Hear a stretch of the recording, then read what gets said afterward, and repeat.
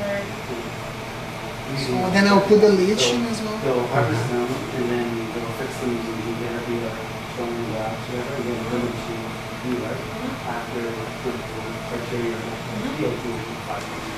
So when people come for the tour, they're just gonna, We're doing two parts, so uh, starting here, underneath Mama Gal, Shop Candy, Um, come out and do, come on,